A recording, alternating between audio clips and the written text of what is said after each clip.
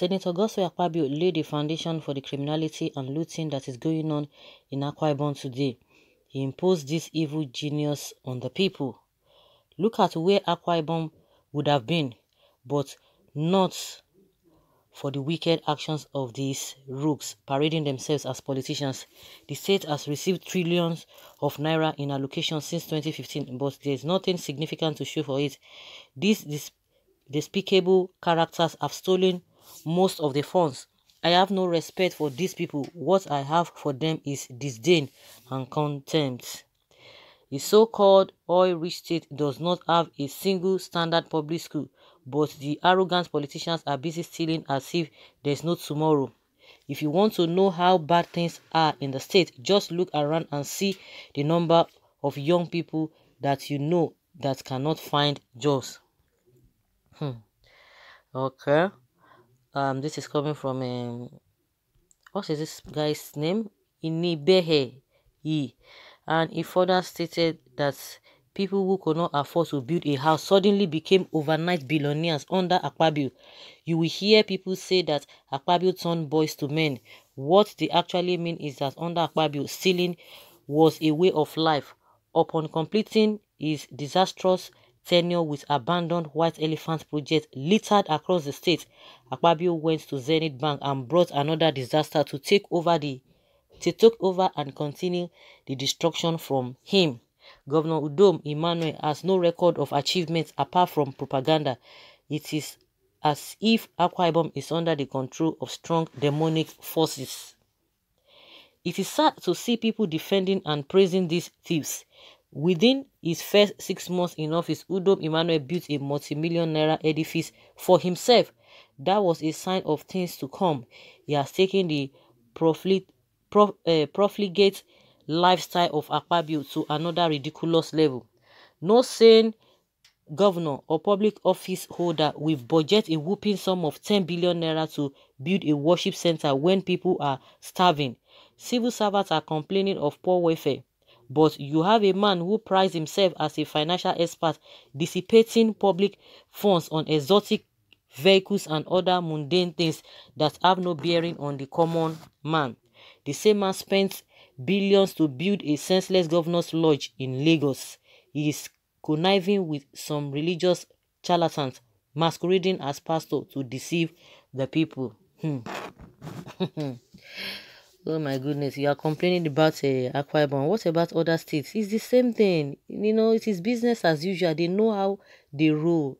They know how they move. It is not only in Akwa Ibom. Everybody has to speak, you know, for his or her state. You have to speak about what is happening in your state because all of them put together, they are doing the same thing. The same thing, the same tactics, the same strategy. These are the same people who um, amass a, or budgeted pension for themselves. You can even imagine even when people are talking about uh, uh, governors that are receiving this and this and that, you know, the, if by the time you mention, before you can mention second uh, state, Akwa Ibom will be there, 100 uh, billion, is 100 million naira for for medical treatment. Meanwhile, people in, in the state cannot even get a 2,000 naira or 5,000 naira uh, money for their medical allowances or expenses. But these people who have served just for eight years, is a pity, really, really a pity. Where do we start from? The worst part of it is that they will not, if you start to talk, they will want to pin you down. Some people are just there to, to defend them, just like he said. Just like he said. Akpabio, the great teacher who taught Udom. If Udom and his government is corrupt, it is Akpabio that taught them. Godswill Akpabio. Godswill Akpabio squandered the state resources for eight years and handed over huge debt burdened on his students. Brethren, it is very sad that Akwa Ibom State is becoming so poor, laughable and stagnated under Udom's administration. Helpless youth, starving children, hunger, men and women wandering about only God. There's a whole lot of intellectual stagnancy that plague our people, even some of the so-called educated ones. I wish the video coverage before and after Akpabio of the entire Akwa Ibom were taken. I'm sure people would uh, proudly say Akpabio did well. If you exclude Attah's government from your uh, perceived state treasury looting, then you are whipping sentiment and bias. If you see no achievement in uh, Akpabio's government, then it is unfortunate you are joining issues here.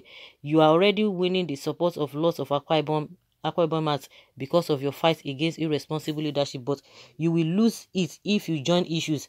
Yes, Akpabio should take the blame of bringing Udom, but for a man Udom who has spent all his active career in the private sector at a top managerial level to run Akwa Ibom in this manner is not only worrisome but unfortunate. If he had weak records when, if he had weak uh, records then, he wouldn't have had a place in Zenith Bank. Could there be an evil spirit that is misguiding our politicians? God no, Udom has actually disappointed Akwaibomites, who brought who thought he had the capacity to turn the state around. We should come together as a people and say never again will the incumbent governor imposes on us another governor. Let's agree as a people and choose who should govern us by ourselves. I love your fighting spirit, but never join issues. Be honest and realistic to issues so that you will continue to win massive support from good Akwa Ibomites. Akpabio never made people rich by giving them car, cash, but rather he empowered them through internal ministerial contracts with thorough supervision where as Udom is doing his own different. Whereas Udom is doing his own differently.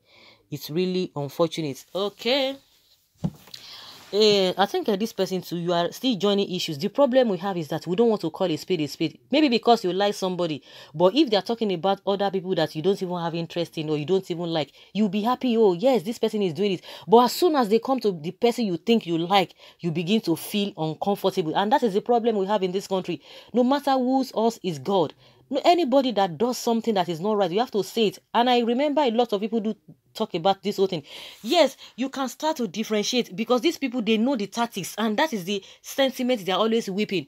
Let's say, for example, somebody is getting one million naira, you know, making an example uh, from that. One million naira for you to do what you need to do. And at the end of the day, the person is spending I said 1 million naira and the person is spending like 2,000 naira or 10,000 naira from 1 million. Do you know what it, it means? Then people will now come and celebrate. Do you know the, the, the achievement you are talking about? Do you know how much he got for all of those money, the allocation throughout the eight years? And they will spend like 10,000 naira after 1 million naira and people will be shouting, yes, he tried. Maybe the person that was there before now managed to spend uh, 2,000 naira out of the 1 million naira the person had. Just giving an example, can you imagine 10,000 naira from 1 million naira? Do you know what it means? That is exactly what these people do. They will just do some things, you know, just to cajole the people. And people will not be saying, yes, he tried. Eh, let us see, let us even, if he had not done anything, what would he have done? Eh, he tried now. Eh, can't you see? He tried. And that is the mentality that a lot of Nigerians have. Like this person that commented, you know, trying to talk about, uh, because this uh, is, uh, is a lawyer uh, who has been speaking against uh, uh, uh, bad leadership. And according to this uh, uh, commenter saying that uh, oh a lot of people like him the way he has been tackling the issue of uh, bad leadership. But because this particular person feels that he likes Akpabio so sh they should not talk about him. No. All of them join together all of them join together. I remember a lot of people do call on radios and say, "Oh, Akpabio, this and that." They will be praising him. Oh, yes, he did. Uh, what is it called? He did all the roads. He did. Uh, what is it called? This. Uh, he brought airports to this uh, to the state, and he was trying to finish up with the international wins and all of that, which eventually this man would have continued with. Do you know the reason why he brought a, a, a this man? The Udom that you said he works in Zenith. Do you know the reason why they, they know all of these things, but you might not know. You are just looking them from afar. And they will tell you that Akpabio built a stadium, this and that. And a lot of people were really complaining. Even the hospitals are not, at the end of the day, tell me all of those things, whether they are really, they have a positive impact in the lives of regular Akwa people. That is it. If somebody had opportunity of getting 1 million naira and the person was spending spent 10,000 naira and you are praising him to high heavens, go and check deeper. You will know what people are talking about. People have done investigations before they come up with this, but because of those uh, little thing he did that is not even economical to the people right now and that is what a lot of people will be singing oh yes oh people are really not appreciative oh go and check those who were there before akpabio they didn't do much why are we supposed to be referring to back. We're supposed to have moved ahead of this this uh, the stage we are. Do you know that a lot of us do not even know history, and the so-called politicians that they are not even they don't even care. All their own is just that let me acquire, acquire, acquire, acquire, and that's it. Up to today, we don't even know how we came up with what the kind of system that we have, how we arrive here. Just like the person is still saying that uh, maybe there's an evil spirit that really is really uh, uh, working against them. Just like a Reuben Abati said one time that there's evil spirits in the government houses. You know, he was talking about Aso Rock, and somebody said, Yes, yeah, so you know, all the state government houses, they are evil spirits. Once they just get there, they begin to do um, their own thing. So we just have to be careful because all these people, hmm, I'm sorry.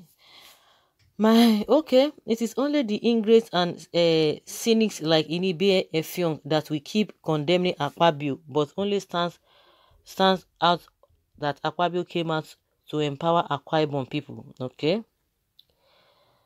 Okay, this one says, God will never allow a man who criticizes everyone to rule Ibom state in Jesus' name. Akpabio, no good. Udom, no good. Now, wow. Please tell him Inibehe is fond of insulting Akpabio. Okay? That is what we are talking about. Go and check these people's life now. There's nothing to write home about it. Too but they are just there to be defending. So guys, let's have your take in these comments and let's know what you think.